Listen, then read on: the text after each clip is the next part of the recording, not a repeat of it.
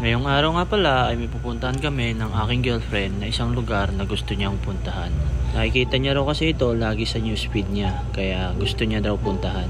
At dito nga sa tunghay na kami magkikita dahil dito rin yung daan papunta dun sa lugar. At habang nag-aantay ako sa kanya ay nag-video-video muna ako at saka nag-book na din ng taxi na sasakyan namin. At habang nag-aantay nga ako sa kanya, ayan, nag-outfit check nga muna si kuya nyo. Charis! At makalipas nga ang ilang minuto ay dumating na din yung girlfriend ko. Malapit lang Wow! din naman kasi yung dorm niya dito sa Tunghay kaya mabis lang din siya nakapunta. At bago nga kami umalis ay ginawa ko muna ay pinicture-picturean ko muna siya. Ayan, ayaw pa nga daw niya kasi hindi pa daw siya ready. Pero ayan na nga guys, makikita niyo naman, go na go siya. At syempre, di mawawala yung picture namin dalawa. Sana Makalipas nga ang ilang minuto ay dumating na din yung taxi na sasakyan namin. Dahil first time nga namin puntahan yon ay hindi namin alam kung malapit ba o malayo yon. At ayan na nga guys, makikita nyo yung isa dyan. Chinecheck na naman yung picture ng kung saan kami pupunta. Excited na excited eh. Ang totoo guys ay celebration na rin to ng mansari namin. Kasi nga hindi kami nagkakatugma ng day off kaya madalas hindi kami nagkakasama sa araw mismo ng mansari namin.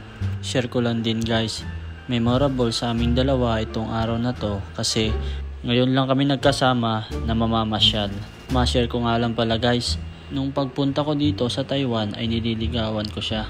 At nung nandito na rin ako sa Taiwan ay sinagot niya ako. At never pa kaming nagkita in personal. Kaya worth it yung 8 months na pag-aantay at ngayon magkasama na kami. Sana all. At nakababa na nga kami ng taxi. At akala namin ito na yung mismong lugar, hindi pa pala. Pero dahil sa maganda yung view, ay nag-video na ako para masulit yung pagpunta namin dito kasi malayo din pala. Nung una siya lang yung na-excite pero ngayon pati ako na-excite na kasi ang ganda ng view.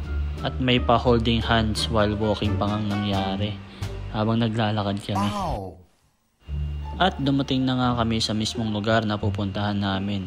At kitang kita nyo naman na excited siya na makita yung view na gustong gusto niyang makita na nakita niya lang sa Facebook.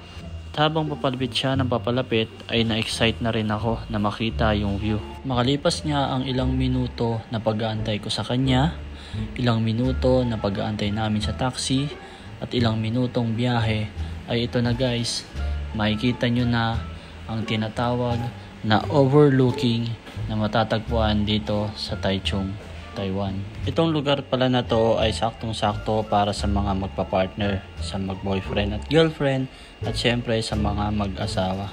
Ang sarap lang isipin na dati gusto ko lang siyang makasama na naghantay ako ng halos walong buwan. At ngayon, kasama ko na siyang gumala. Kasama ko na siyang mamasyal sa mga lugar na gusto namin puntahan. Kaya kung isa ka sa katulad ko noon na nangarap lang na makasama yung taong mahal ko at ngayon kasama ko na, huwag kang mawala ng pag-asa. Darating at darating yung araw na magkakasama rin kayo. Maraming salamat sa panonood. Yun lang. Bye-bye.